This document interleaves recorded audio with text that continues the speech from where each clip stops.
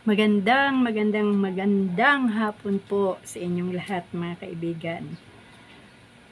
Patuloy ko pong ah, pinupuri ang ating Diyos at pinapasalamatan dahil sobrang napakabuti po ng Diyos sa buhay ko, sa buhay ng aking mga pamilya. At salamat sa Panginoon dahil ngayong oras po ay narito na naman po ang inyong ah, Lola Rayleigh at tayo po ay magpapatuloy na naman sa pagbabasa ng salita ng ating Panginoon. Kaya mga kaibigan, hindi ko na po patatagalin pa. Namiss ko po itong ating Bible reading. Kaya inaanyayahan ko po kayong muli na buksan po natin ang ating mga Biblia sa aklat po ng Ezekiel chapter 37. At ah, gabayan nawa tayo patuloy ng ating Panginoon. Ganon din ang ah, banal na Espiritu Santo upang maunawaan po natin ang ating binabasa. Kaya mga kaibigan, sisimulan ko na po ang Ezekiel chapter 37. Sabi po dito, ang lambak na puno ng kalansay. Nadama ko ang kapangyarihan Yahweh sa pamagitan ng kanyang espiritu. Ay dinala niya ako sa isang lambak na puno ng kalansay. Inilibot niya ako sa lugar na yaong puno ng mga kalansay na tuyong-tuyo na. Tinanong niya ako, Tao, palagay mo ba ay maari pang mabuhay ang mga kalansay na ito? Sumagot ako, Kayo po lamang ang nakaaalam, Yahweh. Sinabi niya sa akin, magpahayag ka sa mga kalansay na ito. Sabihin mo, mga tuyong kalansay, dinggin ninyo ang salita ni Yahweh. Ito ang ipinasasabi niya. Bibigyan ko kayo ng hininga at kayo'y mabubuhay. Lalagyan ko kayo ng litid at laman at babaluti ng balat. Bibigyan ko kayo ng hininga at kayo'y mabubuhay. Sa gayon, makikilala nilang ako si Yahweh. Nagpahayag nga ako tulad ng utos sa akin nang ako'y nagsasalita. Nagkaroon ng malakas na ugong at nabuo ang mga kalansay. Nakita kong sila'y nagkaroon ng litid at laman.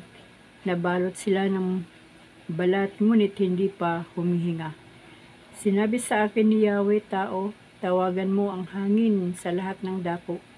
Sabihin mong ipinasasabi ko, hangin, hingahan mo ang mga patay na ito upang sila'y mabuhay.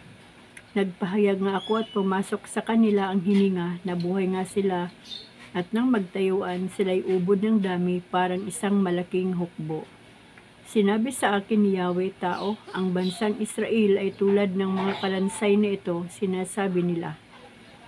Tuyo na ang aming mga buto, wala na kaming pag-asa, lubusan na kaming pinabayaan, kaya nga magpahayag ka, sabihin mong ipinasasabi ko, bayan ko, ibubukas ko ang inyong libingan, ibabangon ko kayo at iuuwi sa inyong bayan. Kung maibukas ko na ang inyong libingan at maibangon ko kayo, makikilala ninyong ako si Yahweh, hihingahan ko kayo upang kayo mabuhay at ibabalik ko kayo sa inyong sariling bayan sa gayon malalaman ninyo na akong si Yahweh ang nagsabi nito at aking gagawin.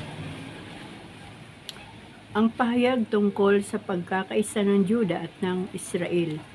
Sinabi pa sa akin ni Yahweh, Tao, kumuha ka ng isang putol na kahoy at sulatan mo ng ang kaharian ng Juda, pagkatapos kumuha ka ng isa pa at sulatan mo naman ng ang kaharian ng Israel. Pagkaraan noon, pagdugtungin mo ito na parang isang hawak mo kapag itinanong nila kung ano ang ibig sabihin noon, sabihin mong ipinasasabi ko na darating na ang panahon at ang kaputol na kahoy na kumakatawan sa Israel ay isasama ko sa kaputol na kahoy na kumakatawan sa Juda upang sila'y maging isa na lang.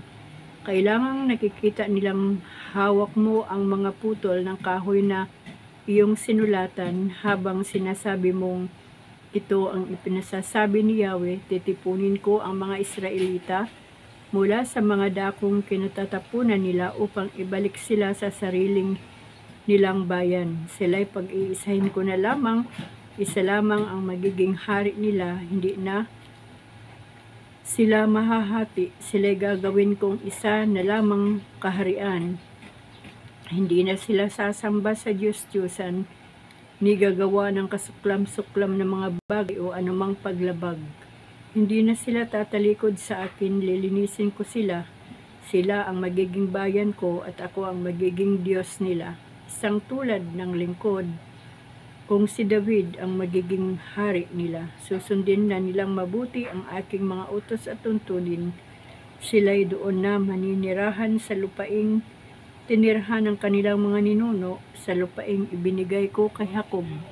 Sila ang kanilang mga anak ay magiging anak ng mga anak ay doon mananatili habang panahon. Isang haring tulad ni David na aking lingkod ang magiging pinuno nila magpakailanman. Gagawa ako ng isang tipan sa kanila. Ito ay tipan ng kapayapaan, mamamalagi, magpakailanman. Pagpapalain ko sila at pararamihin, itatayo ko sa kalagitnaan nila ang aking templo.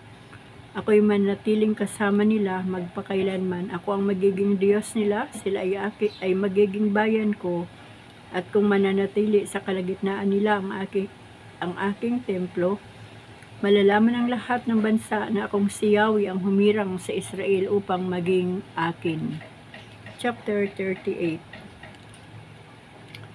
Ang pahayag laban sa Gog. Sinabi sa akin ni Yahweh tao, harapin mo si Gog sa lupain ng Magog at hari ng mga bansang Misik at Tubal. Magpahayag, magpahayag ka laban sa kanya. Sabihin mong, ipinasasabi ko, ako'y laban sa iyo, Gog pinakapuno ng mga hari ng misik at tubal, babaligtarin kita ngayon, tatalian sa ilong, iaalis kita sa sarili mong bayan, ikaw at ang iyong hukbo, ang iyong mga kabayo at mga ngabayo na nasa hustong kasugutang pandigma.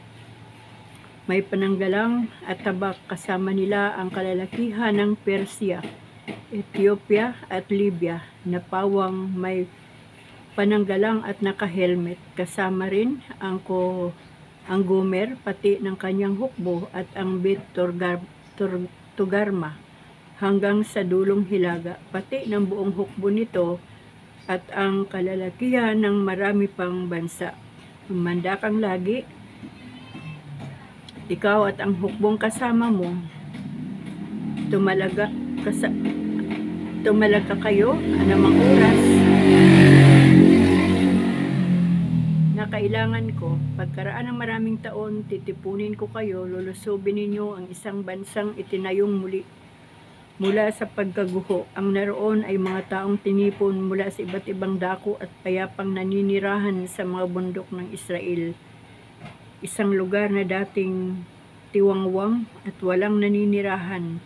Sasagasaan ninyong parang bagyo ang lugar na yaon at kakalatan ninyong parang ulap ikaw ang iyong hukbo at ang makapal na taong kasama mo. Ito ang ipinasasabi sa iyo ni Yahweh Gog. Sa araw na yaon, may papasok sa iyong isip at ikaw ay magbabalak ng masama. Isa sa loob mo, ang sasalakayin ko'y isang mahinang bansa.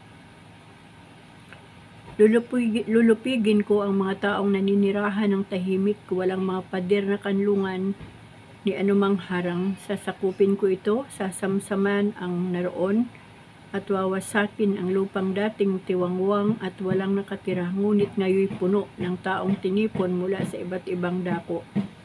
Ngayon makapal na ang kanilang mga hayop, marami na ang ari-arian at ang lupain nila ay siyang sentro sa daigdig. Sasabihin sa iyo ng Siba at Didan, ng Tarsis at ng mga mangalakal nito, Naparito ka, naparito ka ba upang manamsam? Tinipon mo ba ang karamihan upang hakutin ang mga pilak, ginto, mga hayop at mga ari-arian upang samsamin ang malaking kayamanang ito? Kaya pinapunta ako ni Yahweh sa Gog at pinasabi ang ganito, sa araw na yaong nananahimik ang bayan kong Israel, ikaw ay magbabalikwas, isasama mo ang makapal na tao, isang malaking hukbo, na pawang kabayuhan mula sa dulong hilaga, ang Israel ay sasalakayin ninyo tulad ng rumaragasang bagyo. Ipalulusob ko sa iyo ang aking bayan upang ipakilala sa mga bansa kung sino ako. at ipakita sa kanila ang aking kapangyarihan sa pamagitan ng gagawin ko sa iyo. Ipinasasabi pa ni Yahweh noong araw pa, iniutos ko na sa mga lingkod kong propeta ng Israel na ipahayag nila na may isang bansang titindig laban sa Israel at ikaw ang tinutukoy noon. Pagdating ng araw na yaon, kapag sinalakay na ng Gug ang Israel, aabot na sa sukdulan ng aking puot at sa tindi ng aking galit, lilindol ng napakalakas sa buong Israel. Ang mga isda, ibon at hayop, malaki o maliit, at ang mga tao ay manginginig sa harap ko, ang mga bundok ay guguho, gayon din ang mga bangin at ang lahat ng muog sa lupa. Paghahariin ko sa gug ang matinding takot at sila sila'y magtatagaan. Parurusahan ko siya sa pamagitan ng salot at kamatayan. Siya at ang kanyang mga hukbo ay paulanan ko ng buhawi, apoy at asopre. Sa ganyang paraan ko ipakikita sa lahat ng bansa ang aking kapangyarihan sa gayoy makikilala nilang ako si Yahweh. Chapter 39 Ang pagbagsak ng Gog. Sinabi sa akin ni Yahweh tao, magpahayag ka laban sa Gog.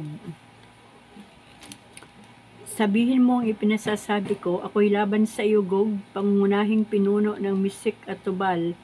Babaligtarin kita at mula sa dulong hilaga itataboy sa kabundukan ng Israel pagkatapos Aagawin ko ang pana at mga palaso sa iyong mga kamay, ikaw at ang iyong buong hukbo ay malilipol sa kabundukan ng Israel, pati ang makapal mong tauhan, ang iyong mga bangkay ay pababayaran kung pababayaan kong kanin ng mga ibon at lupain ng mababangis na hayop. Sinasabi kong mabubuwal ka sa kaparangan, lilikha ako ng sunog sa magog at sa baybayin ng dagat, ang lugar na hindi dating nakararanas ng gulo, sa gayon, makikilala nilang ako si Yahweh. Ipakikilala ko ang aking pangalan sa gitna ng bayan kong Israel at di ko na babayaang malapastangan ito. Sa gayoy, makikilala ng lahat ng bansa na ako si Yahweh, ang banal ng Israel.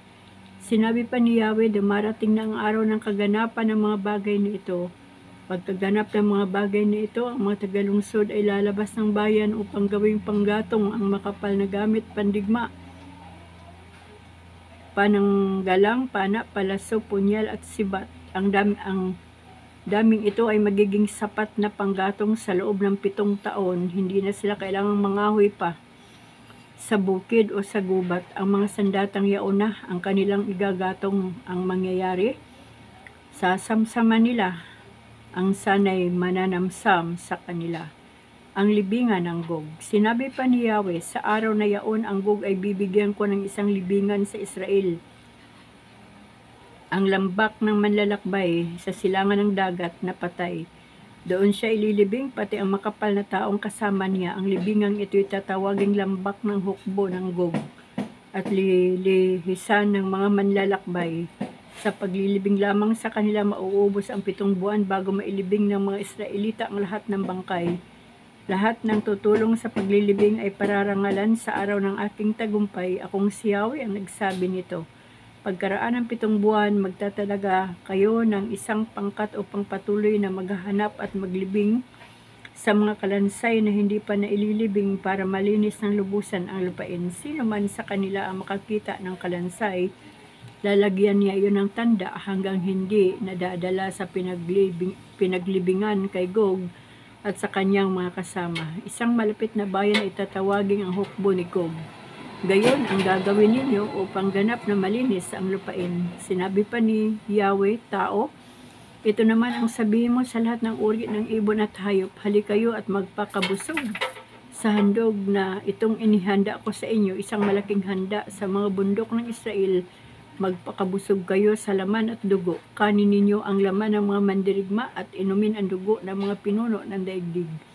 Ito ay siya ninyong pinaka tupang lalaki, kordero, kambing, turo at baka. Magsasagawa kayo sa taba at magsasawa kayo sa taba at malalango sa dugo nito sa maraming handog na inilaan ko sa inyo. Sa dulang ko'y Mabubusog kayo sa kabayo at mandirigmang sakay nito at sa lahat ng uri ng kawal, akong si Yahweh ang nagsabi nito. Ibinalik na sa dati ang Israel. Sinabi ni Yahweh, ipamamalas ko sa lahat ng bansa ang aking kapangyarihan sa pamamagitan ng paggamit ko sa aking kapangyarihan sa pagsasagawa ng aking pasya. Mula sa araw na yaon, makikilala ng Israel na ako si Yahweh, ang kanilang Diyos, at nalalaman ng lahat ng bansa na ang Israel ay nabihag dahil na rin sa kanilang kasamaan, dahil sa pagtataksil nila sa akin. Sila ay aking pinabayaan at ibinigay sa kanilang mga kaaway upang patayin. Pinabayaan ko sila pagkat iyon lang ang marapat sa kanilang kasamaan. Ipinasasabi pa ni Yahweh, ngayon ibabalik ko ang dating kalagayan ni Jacob. Muli kong ipadarama sa sambayan ng Israel ang aking pag-ibig sa kanila upang mabigyan kong karangalan ang aking pangalan, ang kahiyang sinapit nila at ang kanilang kataksilan sa akin ay malilimutan na rin nila kapag sila'y payapa ng naninirahan sa Israel, nilang lupain at wala nang liligalig sa kanila. At kapag natipon ko na sila mula sa lupain ng kanilang mga kaaway, sa pamamagitan ng pagka linga ko sa kanila ipakikita ko sa lahat ng bansa ang aking kapangyarihan sa gayoy makikilala ng Israel na ako si Yahweh na kanilang Diyos pagkat itinapon ko sila sa lahat ng panig ng daigdig at pagkatapos ay muling tinipon sa sarili nilang lupain. Titipunin ko silang lahat at walang matitira isa man sa ibang bansa. Ibubuhos ko sa Israel ang aking espiritu at hindi ko na sila tatalikdan. Akong si Yahweh ang nagsabi nito. Chapter 40 ang pangitain tungkol sa templo. Noong ikasampung araw ng bagong taon at ikalabing ay dalawang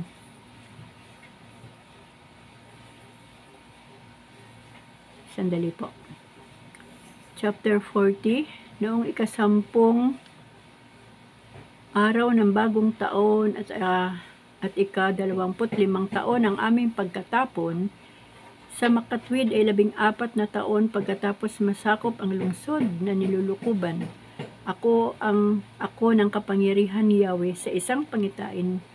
Dinala niya ako sa ituktok ng isang uh, mataas na bundok sa Israel sa tapat ko.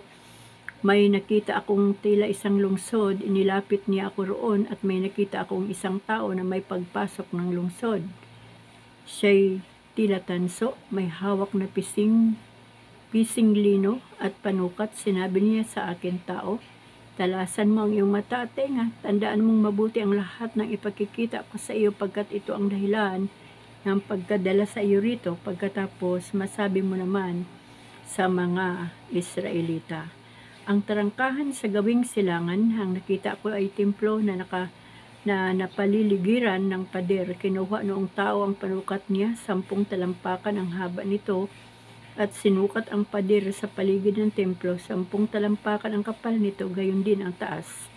Pagkatapos, pumunta siya sa tarangkahan sa gawing silangan, pumanhik siya sa mga baitang nito at sinukat ang pintuan. Ang taas nito ay sampung talampakan din. Sa kabila nito ay may daanan at may tigatlong silid. Sa magkabila, ang mga silid na ito ay para parisukat, sampung talampakan ang haba Gayon din ang luwang at ang pader sa pagitan ay walong talampakan. Sa kabila ng mga silid na ito ay may daanan patungo sa malaking bulwagan sa harap ng templo. Ang haba nito ay sampung talampakan, sinukat niya ang ka ang bulwagan. Ang luwang nito ay labing apat na talampakan. Ito ang pinakadulo ng daanan sa pintuang malapit sa templo. Ang kapal ng dulo ng pader nito ay apat na talampakan. Pare-pareho ang sungkat ng mga silid na ito at magkasing kapal ang mga pader sa pagitan. Sinukat din niya ang pasukan papuntang tarangkahan. Ang kabuang luwang nito'y 22 talampakan at 16 naman ang tarangkahan. Sa harap ng mga silid ng bantay pinto ay may pader na 20 pulgada ang taas, gayon din ang kapal. Ang mga silid ay kwadrado, 10 talampakan ang haba, gayon din ang luwang. Pagkatapos, sinukat niya mula sa gilid. Ng unang silid hanggang sa huling silid, ito'y may apat na pong dalawang, dalawang talampakan. Sinukat din niya ang bulwagan sa pasukan at ito'y may tatlumpot apat na talampakan. Ang kabuang haba ng daanan Mula sa tarangkahan hanggang sa huling silid ay 84 na talampakan. Ang mga silid ay may bintana upang makita ang labas at mayroon din sa mga pader sa pagitan ng mga silid. Sa mga pader naman sa loob ng silid ay may dibuhong puno ng palma. Ang patio sa labas, dinala niya ako sa patio sa labas. Doon ay may tatlumpung silid na nakadikit sa pader. Sa harap ng mga silid na ito ay may bahaging nalalatagan ng bato na abot sa gusali sa pasukan. Ito ay mahaba kaysa patio sa loob. May mas mataas na daanan patungo sa patio sa loob. Sinukat mo noong tao ang pagitan ng dalawang daanan at umabot ng 168 na talampakan. Ang tarangkahan sa gawing hilaga, pagkaraan, sinukat niya ang daanan sa gawing hilaga na papunta rin sa patio sa labas. Ang tigatlong silid ng mga bantay pinto, ang mga pader sa pagitan at ang bulwagan ay kasinlaki rin ng tarangkahan sa gawing silangan. Ang haba ng daanan ay 84 na talampakan at apat na pong dalawa naman ang luwang. Ang bulwagan, mga bintana at dibuhong puno ng palma ay katulad nga ng nasa tarangkahan sa gawing silangan. Pito ang baitang nito at nasa dulo ang bulwagan paharap sa patio sa tapat ng tarangkahang ito ay may tarangkahan ding papasok sa patio sa loob tulad nga ay tulad ng sa gawing silangan sinukat niya ang pagitan ng tarangkahan sa hilaga ng tarangkahan sa timog at ito umabot sa umabot ng 168 na talampakan. Ang tarangkahan sa gawing timog, dinala niya ako sa gawing timog at doon mayroon ding tarangkahan. Sinukat niya ito, ito'y kasukat din. Ang ibang tarangkahan, may mga bintana rin ito paligid, ito sa paligid. Tulad ng ibang tarangkahan, ang haba ng daanan nito ay 84 na talampakan at 42 na, dalawa naman ang luwang ang luwang. Pero pito rin ang baitang nito at nasa dulo ang bulwagan. Paharap sa patio may tigisang dibuho na puno ng palma ang pader ng pu- pasilyo. Mayroon din itong daanan papunta sa patio sa loob ang haba nito ay 168 na talampakan. Ang patio sa loob ang tarangkahan sa timog. Ako ipinasok niya sa patio sa loob sa tarangkahan sa gabing timog kami nagdaan. Sinukat niya ito at kasukat din ng iba. Ang bulwagan, mga silid nito at pader sa pagitan ay tulad din ng sa ibang tarangkahan. May mga bintana rin ito. Ang haba ng pasilyo ay 84 na talampakan at 42 naman ang luwang. Ang bulwagan nga nito ay parang sa panlabas ng napatyo. May dibuho ring puno ng palma ang pader ng daanan at walo ang baitang patungo sa tarangkahan ito. Ang patyo sa loob ang tarangkahan sa silangan. Itinuloy niya ako sa loob ng patio sa gawing silangan. Sinukat niya ang tarangkahan. Nito, ito ay kasukat din ng iba. Mayroon din ang bulwagan. Gayon din ang bulwagan, mga silid na bantay pinto at mga pader sa pagitan. Naliligid ito ng mga bintana. Ang haba ng daanan ay 84 na talampakan at apat na put, dalawa naman ang lapad paharap sa patio sa labas ng sa, lab- sa labas ang bulwagan. May dibuho rin puno ng palma ang pader at walong baitang ang hagdan. Ang patyo sa loob, ang tarangkahan sa hilaga. Pagkatapos, dinala niya ako sa may tarangkahan sa gawing hilaga at ito kanyang sinukat. Kasukat din ito ng iba, gayon din ang bulwagan, mga silid at mga pader sa pagitan. Ang haba ng bulwagan ay 84 na talampakan at 42 naman ang lapad. Ito ay may mga bintana rin sa paligid, paharap sa patio sa labas. Ang bulwagan nito, may dibuho ring puno ng palma, ang pader sa pasilyo at walo ang baitang ng hagdan.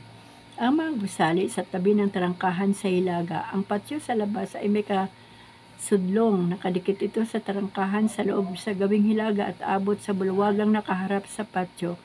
Doon nila nililinis ang mga hayop na pinatay upang sunugin sa altar habang handog. Sa magkabilang panig ng bulwagan ay may tigalawang mesa. Dito naman nila pinapatay ang mga hayop na ihahandog kahit nasusunugin. Handog para sa kasalanan o handog tungkol sa, sa paglabag. May apat na mesa rin sa labas, tigalawa sa magkambila ng tarangkahan sa gawing hilaga. Sa makatubid ay tag-apat ang mesa sa loob at labas ng bulwagan. Sa mga mesang ito, pinapatay ang lahat ng hayop sa ang lahat ng hayop na panghandog. Yari sa tinapyas na bato ang apat na mesang patungan ng hayop na susunugin bilang handog. Ang taas nito ay 20 pulgada, 30 ang lapad, gayon din ang haba. Dito inilalagay ang mga kasangkapang pangpatay sa mga handog. Sa paligid ng mga mesa ay may pinaka pasamanong tatlong pulgada sa mesa ay pinapatong ang karning panghandog. Dinala ako sa patio sa loob. Doon ay may dalawang tanging silid. Ang isa'y nakaharap sa timog at ang isa naman ay nakaharap sa hilaga.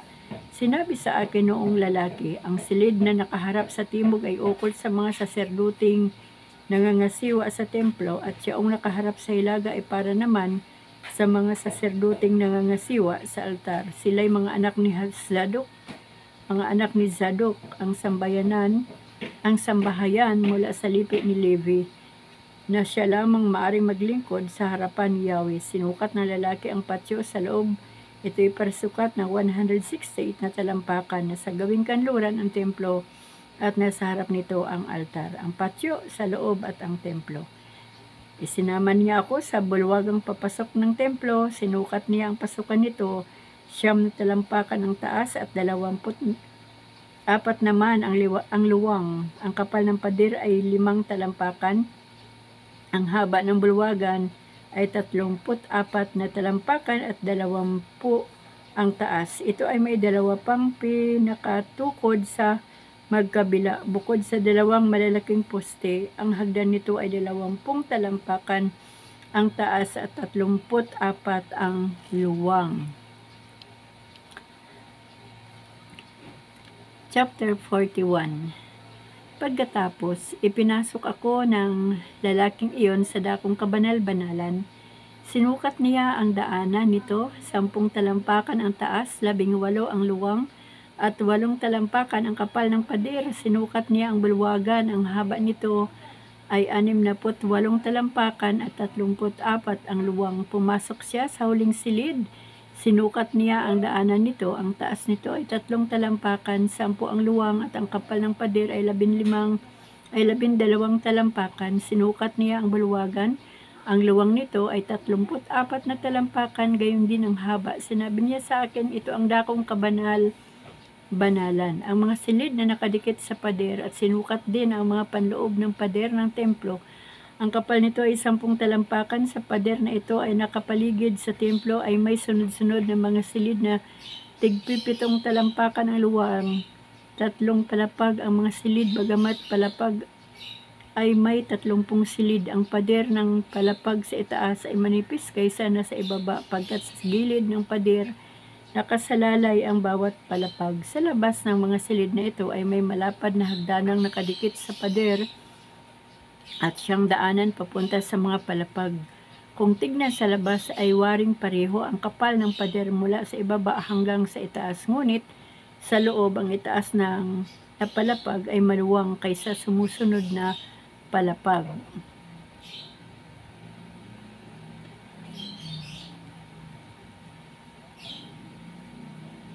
Sa labas ng mga silid na ito ay may malapad na hagdanang nakadikit sa pader at siyang daanan papunta sa mga palapag. Saan na ba ako mga kaibigan? Parang nawawala na ako ah. Okay. Dito po tayo sa chapter 41 verse uh, ah, 8. Nakita kong may balkonahing walong talampakan sa paligid ng templo. Sampung talampakan ang taas nito mula sa lupa at kapantay ng pundasyon ng mga gilid. Pundasyon ng mga silid sa gilid ang kapal ng pader ng mga silid na ito ay walong talampakan sa paligid ng templo, ay may bahaging bukas sa pagitan ng balkonahe at ng silid ng mga saserdote.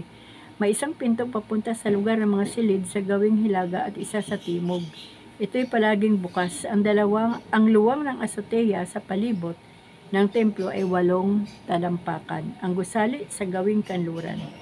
Sa dulo ng gawing kanluran ay may isang gusali na 115 talampakan ang haba at 116 ang luwang. Siyam na talampakan ang kapal ng pader nito, ang kabuang sukat ng templo. Sinukat na lalaki ang labas ng templo. Ang haba nito ay 168 na talampakan mula sa likod ng templo hanggang sa gusali sa kanluran ng 168 hanggang sa gusali sa kanluran ay 168 na talampakan. Ang pagitan mula sa harap ng templo pati ng patio ay 168 talampakan din. Sinukat din niya ang haba ng gusali. Ito ay 168 talampakan pati ng mga silid sa magkabila. Ang templo, ang mga silid na pasukan sa templo, ang dakong banal at ang dakong kabanal-banalan at ang bulwagan sa gawing labas ay nababalot ng tabla. Mula sa sahig hanggang bintana, ang loob naman ng templo ay balot ng tablang kasintaas ng pinto at may ukit na larawan ng palma at kerubin. Salitan ang larawan ng palma at kerubin, bawat kerubin ay may dalawang mukha. Isa ay mukha ng tao, mukha naman ng leon, ang isa. Ang mga ito ay magkabali, magkatalikod at parehong nakatingin sa puno ng palma. Ganito ang larawang nakaukit sa lahat ng dingding ng templo Kasintaas ng pinto ang mga tablang may nakaukit na larawan ng kirubin at puno ng palma. Ang altar na kahoy. Ang mga ba ang mga hamba ng pinto ng dakong banal ay parisukat sa harap ng dakong kabanal-banalan ay may parang altar na kahoy. Ang taas nito ay limang talampakan, apat naman ang luwang kahoy ang mga paa nito, gayon din ang patungan at ang ding dingding. Sinabi sa akin ng lalaki, iyan ang mesa sa harapan ni Yahweh, ang mga pinto. Sa magkabilang dulo ng daanan, papunta sa dakong banal ay may pinto, gayon din ang papunta sa dakong kabanal-banalan. Ang mga pinto ay tigalawang paypay, bawat paypay ay may tigalawang bisagra. Ang pinto papunta sa dakong banal ay may nakaukit ding larawan ng kirubin at puno ng pal at puno ng palma.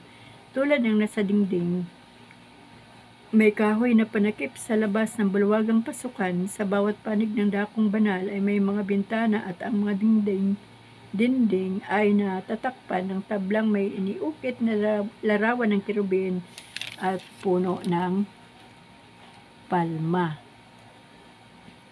Chapter 42 Ako isinamin ng lalaki sa patyo sa labas at nagpatuloy kami sa gusali sa gawing hilaga ng templo at malapit sa dulo nito sa kanluran. Ang haba ng gusaling ito ay 168 talampakan at 84 naman ang luwang. Ang kabiyak nito ay nakaharap sa patyong 34 na talampakan ang luwang at ang kabiyak sa patyong na lalatagan ng bato, ito ay tatlong andana. Sa halip, hilaga ng gusali ay may isang daanang labing-anim na talampakan ang luwang at 168 ang haba. Ang mga silid sa pangatlong palapag ay maliit kaysa una at pangalawa dahil sa balkon nito. Ang mga silid mula sa una hanggang ikatlong palapag ay walang haligi. Di tulad ng ibang gusali sa patio, sa labas, ang pader sa ibaba ay may luwang na 84 na talampakan kalahati ng kabuang haba sa natitirang 84 na talampakan ay may mga silid sa itaas na palap, uh, palapag ay nakahanay ang mga kwarto mula sa puno hanggang dulo. Sa silangang dulo ng gusali, sa ilalim ng mga silid na ito ay may mga pinto palabas sa patio. Sa gawing timog ng templo ay may isa pang gusali, hindi sa ka layuan sa kanlurang dulo ng templo. Sa harap ng mga silid ay may daang katulad at kasukat ng nasa gawing hilaga. Sa dulo ng hanay ng mga silid, sa gawing timog ay mayroon ding pinto. Sinabi sa akin noong lalaki, ang mga gusaling ito ay sagrado dito. Kakanin ng mga saserdote ang sagradong bahagi ng mga handog. Dito rin ilalagay ang mga pinakasagradong handog tulad ng handog para sa kasalanan at handog ukol sa paglabag pagkat itinalaga ang mga silid na yaon pagkagaling nila sa templo at ibig nilang lumabas sa patio, huhubarin muna nila roon ang kanilang kasuutan. Iba ang kasuutan gagamitin nila pagharap sa mga tao, ang sukat ng paligid ng templo. Matapos sukatin noong tao ang loob ng templo, lumabas kami sa tarangkahan sa gawing silangan at sinukat niya ang labas. Ang gawing silangan ay 814 talampakan, gayon din ang gawing timog, kanluran at hilaga. Sinukat nga niya ang apat na panig na paligiran ng pader upang mabukod sa karaniwan ang tanging lugar na ito. Dito po muna tayo magtatapos mga kaibigan sa chapter 42. Alam niyo po ano? Sobrang ah, matalas yung ano, memory ni Ezekiel na ibinigay ng ating Panginoon. Sa dami ng sukat, sa dami ng bahagi ng templo ay na- naihayag ni, ni Ezekiel kung paano sinukat, kung gaano kaluwag at kung ano ang mga naroon. Ito po ay history mga kaibigan sa mga nangyari at naipakita yung kapangyarihan ng Panginoon dito. Nakakatuwa kasi di po ba tayong mga tao pwede tayong kumuha ng calculator o kaya ballpen, papel para isulat kung ilan ang sukat, kung ilan ang haba, ang luwang, kung ilang kwarto, kung ilang ah, bahagi sa loob ng templo. Ngunit si Ezekiel ay ah, yung kaisipan lang niya ang ah, pinatalas ng Panginoon para maalala lahat ang kanyang nakita. At talagang ah, si Propeta Ezekiel ay ah, guided po ng ating Panginoon. Ano po? Kaya mga kaibigan, patuloy po nating basahin ang Biblia. Malapit na po tayo sa New Testament at malapit na rin po tayong ah, matapos sa ating binabasa ang buong aklat ng ah, Biblia ano po from Genesis to Revelation at ah, lahat po ng mga nangyari noon napansin ko din ay ah, nangyayari pa din sa ngayon pero isang bagay lang po ang nakita natin di po ba ipinangako na ng Diyos sa mga Israel na hinding hindi niya na ito iiwanan kaya nga pala kahit anong pandirigma ng iba't ibang bansa sa bansang Israel ngayon, talagang hindi po pinababayaan ng Diyos ang bansang Israel. At napakapalad po ng bansang Israel. Ngunit sasabihin ko rin po na kahit hindi man po tayo taga-Israel, hindi man tayo mga Israelita, pero sa ating kapanahunan bilang lahing Pilipino naman, ang kailangan lang po natin ay manatili sa ating Diyos, manatili ang ating pananampalataya sa Diyos. Manatili po yung ating katapatan sa Diyos hanggat maari ay ah, hilingin natin sa Panginoon na maging tapat tayo upang sa ganon makamtan din po natin ang biyaya, ang habag, ang pagpapala at higit sa lahat ang kaligtasan na nagmula at magmumula sa ating Panginoon. Mga kaibigan, maraming maraming salamat po sa ating Diyos sa hapon ito dahil tayo po ay nakabasa na naman ng kanyang salita at ah, pinupuri ko talaga ang Panginoon dahil ah, pinagaling niya po ako. Pinagaling niya rin po si Lolo Dudong. Pinagaling niya rin po ang aking mga mga apo. At ganon din inayos niya po ang bawat ah, bahagi ng aming mga katawan na nahirapan. Ganyan po ang kapangyarihan ng ating Diyos. Dahil sabi ko nga po mga kaibigan, yung mga nagdaang ah, araw mula po sa unang araw na ako'y nagkasakit, ah, bali one week na po kahapon, pang 8 days po ngayon, parang gusto ko na lang talagang ah, pungkit. Tinatanggap na ng aking puso kung anong kalooban ng Diyos. Siyempre, excited na tayo makauwi sa ating ah, Panginoon. Ngunit meron pa rin pong panalangin ang bahagi ng aking puso na hanggat maaari, Lord, wag naman muna sana. At ah, ang Diyos po ay nakatingin lang sa ating puso at andoon yung aking pananalig kay Kristo na pagagalingin niya pa po ako, palalakasin niya pa po ako muli. At yun nga po, na medyo lumakas-lakas na, ay kailangan ko pala talagang lumakas dahil si Lolo Dudong naman ang makakaranas ng ah, aberya sa kanyang katawan. At salamat sa Panginoon at ah, napagtagumpayan ko naman po lahat mga kaibigan. Um, alam niyo po yung alam niyo po yung yung pakiramdam na halos hindi mo na kaya ang iyong sarili pero kapag merong miyembro pa ng pamilya na nagkakaroon ng ah, karamdaman ay nagiging malakas ka at nagiging matatag ka. Ano po? Kaya yan po ang ano, kapangyarihan ng Panginoon sa buhay natin. Kaya wag po tayong sumuko mga kaibigan. Tuloy lang po ang laban. Tuloy ang panalangin. Tuloy ang pagbabasa ng salita ng Diyos.